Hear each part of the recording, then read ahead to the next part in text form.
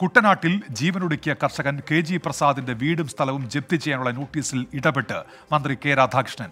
വായ്പയിൽ പരമാവധി ഇളവുകൾ നൽകി തീർപ്പാക്കാൻ മന്ത്രി നിർദ്ദേശം നൽകി. കുടുംബത്തിന്റെ സാഹചര്യങ്ങൾ മനസ്സിലാക്കാതെ ജപ്തി notice അയച്ചതിൽ S C S T corporation M ഡിയോട് report തേടി. മുഴുവൻ തുകയും സർക്കാർ എഴുതി തള്ളണം എന്നാണ് കുടുംബത്തിന്റെ ആവശ്യം. പട്ടികജാതി പട്ടികവർഗ വികസന കോർപ്പറേഷനിൽ നിന്ന് എടുത്ത വായ്പ കുടിശ്ശിക ആയതിന്റെ പേരിലായിരുന്നു ജപ്തി നോട്ടീസ്. ഇത് വിവാദമായതിനെ തുടർന്ന് മന്ത്രി കെ രാധാകൃഷ്ണന്റെ നിർദ്ദേശപ്രകാരമാണ് നടപടി. വായ്പയിൽ പരമാവധി ഇളവുകൾ നൽകും. കുടുംബത്തിന്റെ സാഹചര്യങ്ങൾ മനസ്സിലാക്കാതെ ഉദ്യോഗസ്ഥർ നോട്ടീസ് അയച്ചതിൽ കോർപ്പറേഷൻ എം ഡിയോട് അടിയന്തര റിപ്പോർട്ട് സമർപ്പിക്കാനും മന്ത്രി ആവശ്യപ്പെട്ടു. കഴിഞ്ഞ നവംബർ പതിനൊന്നിനാണ് പ്രസാദ് ആത്മഹത്യ ചെയ്തത്. വായ്പ പൂർണമായി എഴുതി തള്ളണമെന്നാണ് കുടുംബത്തിന്റെ ആവശ്യം. ഒറ്റത്തീർപ്പ് പരിപാടിയെ നമുക്ക് വേണ്ട സാവകാശവും പിന്നെന്താന്ന് പറഞ്ഞാൽ ഇനി ഇത് അടയ്ക്കാൻ എന്നെ കൊണ്ട് പറ്റത്തില്ല. പിന്നെ അവരിത് ഒഴിവാക്കി തരുവാണെങ്കിൽ അത് സന്തോഷം. അല്ലാതെ ഈ ഒറ്റത്തീർപ്പെന്ന് പറഞ്ഞാൽ ഒറ്റത്തീർപ്പാണ് ഞങ്ങൾക്ക് ഈ അബദ്ധം മുഴുവനും വന്നത്. ഒറ്റ തീർപ്പാക്കൽ പദ്ധതിയിൽ വായ്പ തിരിച്ചടച്ചത് മൂലമാണ് മറ്റു ബാങ്കുകൾ പ്രസാദിന് വായ്പ നിഷേധിച്ചതെന്ന് ആരോപണം ഉയർന്നിരുന്നു. ഇപ്പോൾ ഒറ്റത്തവണ തീർപ്പാക്കൽ എന്ന് പറയുന്നത് അതൊരു കെണിയാണ്. നമ്മൾ പൈസ അടയ്ക്കുന്നു അവരുമായുള്ള ലോണുകളെല്ലാം ക്ലോസ് ചെയ്യുന്നു. അതിനുശേഷം ഒറ്റത്തവണ തീർപ്പാക്കിയതിന് ശേഷം ആ ബാങ്കുകളിൽ നിന്ന് മറ്റ് വായ്പകളോ മറ്റ് ആനുകൂല്യങ്ങളോ ഒന്നും ലഭിക്കാത്തൊരവസ്ഥയാണ്.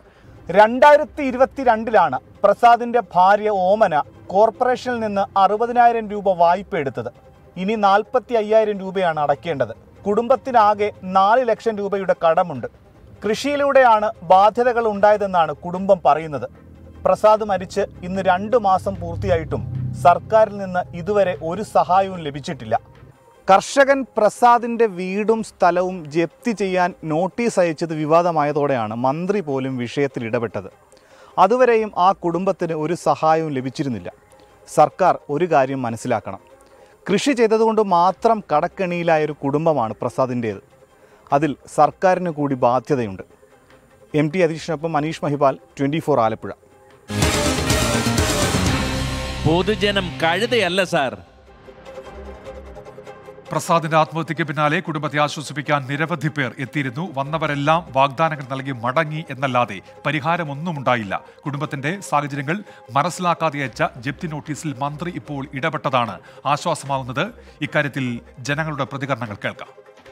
ഒരുപാട് കർഷക സഹോദരന്മാർ ഇതേപോലെ പാട്ടത്തിന് ഭൂമി എടുത്തിട്ട് കൃഷി ചെയ്തിട്ട് കടബാധ്യതയിൽപ്പെട്ട് ആത്മഹത്യയുടെ വക്കിലെത്തി നിൽക്കുകയാണ്. അവർ പല പല തൊഴിലുകൾക്ക് വേണ്ടി പോകുന്നു. സാമ്പത്തികമായി വല്ല പരാധീനതയിൽ പോകുന്നു.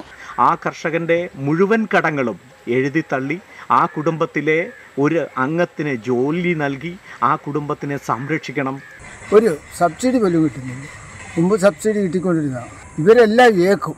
സകലത് ഏക്കും. കൊടുക്കാമെന്ന് പറയും പക്ഷെ കൊടുക്കത്തില്ല. തൊഴിലുറപ്പുണ്ടോ? അതും പൂർണമായി പരിഹരിക്കപ്പെടാവുന്ന ഒരു നടപടികളും ഗവൺമെന്റിന്റെ ഭാഗത്തുനിന്നും ഉണ്ടായിട്ടില്ല.